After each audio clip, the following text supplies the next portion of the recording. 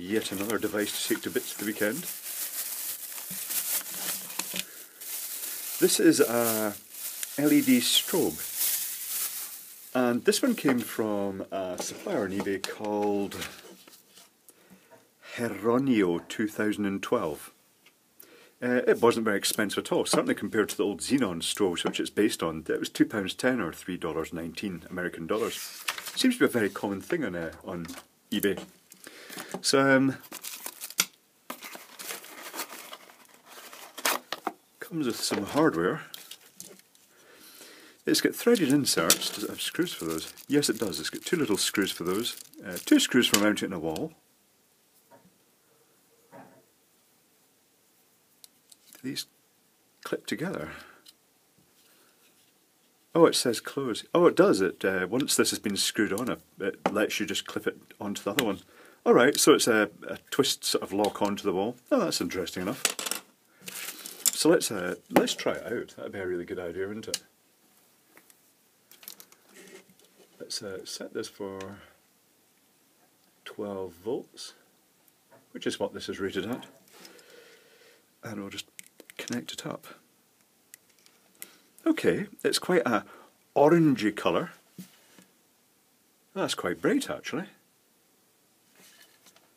Uh, it's got modest, it's not got a super wide viewing angle, but from the front where it's going to be seen, it's, uh, it's very visible.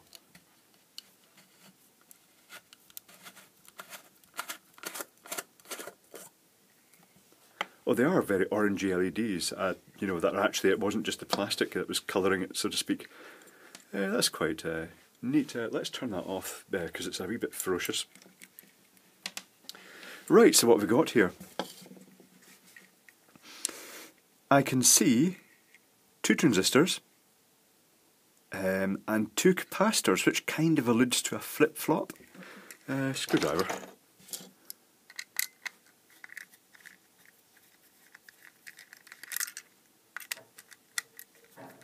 Might not be a flip-flop, but that's a nice simple flasher type circuit. There is a rubber seal round the side here Um, and this is sealed up with goop at the back. Quite hard goop. So theoretically it should be fairly waterproof. So what's the circuitry like? The positive goes on and comes straight through a polarity diode, protection diode. Quite a lot of resistors in this. Uh, then again, I suppose it's breaking it down into clumps of LEDs. Let's see if we can work out how many LEDs are in each clump.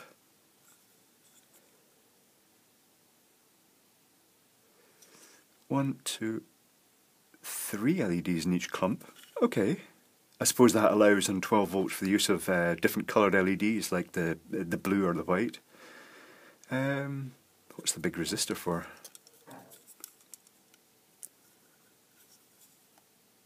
Big resistor isn't in circuit. Oh, that might be for, uh, in fact, it's got 24 to 48 volt written on one side of that resistor and 12 volt on the other. So by default, the circuit's 12 volt, but this 220 ohm resistor um, will allow it to be used in higher voltages just by limiting the current to the whole unit. Not super efficient, but ultimately means the same circuit board can be used for a multiple of different voltages. Oh, it's got it marked in the back as well, 48 to 24 volt. Okay, so that means that by tacking the black wire over there, they'd change the voltage rating of it. That's neat enough. I'm guessing it'd probably still work in 12 volts. Uh, in fact, let's try that out. But at a dimmer intensity, so let's turn the power supply back on again. Hook that to the positive. In fact, I'll just hook that straight onto the diode. And hook that onto there. Yeah, it slows it down, makes it dimmer. Okay, but it does still work. That's interesting to know, just for novelty. Right, I'm going to reverse engineer this completely now then, because it's quite a neat little unit, and uh, I'll be back in a moment. So I did my usual, I took a photo of the back and flipped it and uh, just processed it a wee bit so I could just doodle bits on, and it is an absolutely, oh, he said smacking shove, it is an absolutely standard flip-flop circuit.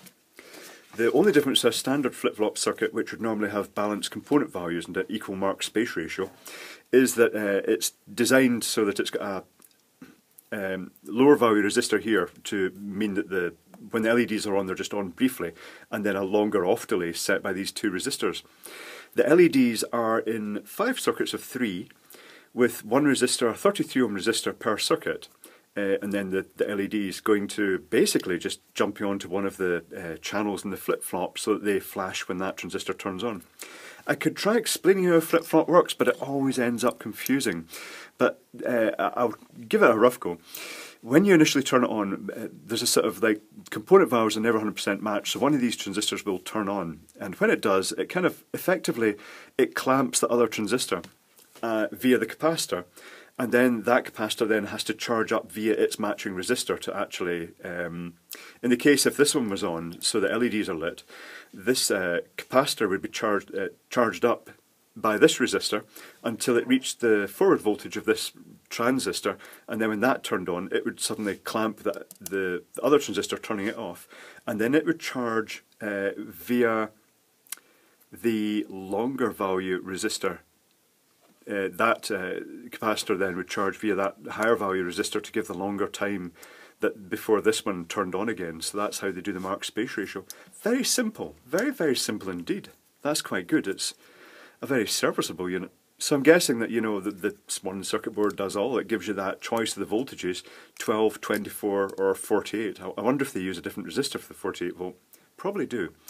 Uh, and then, of course, they can use white LEDs, blue LEDs, or whatever, um, just because they've got that multiple of three, which uh, in the case of these ones will probably add up to 6 volts with the rest dropped across the resistor. But in the case of the blues and greens and whites would add up to about 9 volts with the rest dropped across the resistor. So a very neat circuit. It's alright actually. I wasn't expecting a flip-flop. thing, I thought it was going to be a blob, you know, just one of the generic sort of like chip-on board blobs. But having said that, these are just standard components and it's a standard circuit. So that makes sense that they've done that. So yeah, that, that's actually quite neat. Yeah, it's pretty good.